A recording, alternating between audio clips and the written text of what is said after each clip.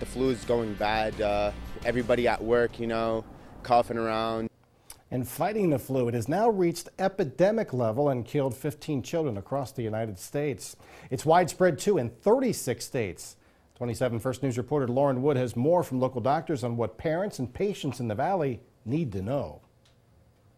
Getting the flu is never fun, and this year it's definitely hitting more people than usual. I actually had the flu for a week, and yeah, and it's uh, it's not it's not a good feeling you know going to work you feel bad. Doctors at akron children's hospital say more people are getting sick because the flu shot did not target the strain that's going around. A lot of the problem that we're seeing is we're seeing a lot more flu because our vaccine isn't as effective and so more people are being affected by it and more people are going to have complications. For most people dr donnelly says the flu will not be any worse than a really bad cold but there are some things to watch out for. If your fever has gone on longer than four or five days especially in a child child, it's worth seeing your doctor. Breathing problems, inability to stay hydrated, or symptoms that are more severe than expected can also warrant a doctor's visit. Another thing to keep in mind is that while you may hear a lot about Tamiflu helping with flu symptoms, doctors are very hesitant to prescribe it for someone who is not an at risk population. And there's a good reason for that. The flu virus can mutate to become resistant to Tamiflu, and then we won't have anything to help the people who are at risk. Those at risk populations include kids under two, people with an underlying health condition like asthma or heart disease, and the elderly.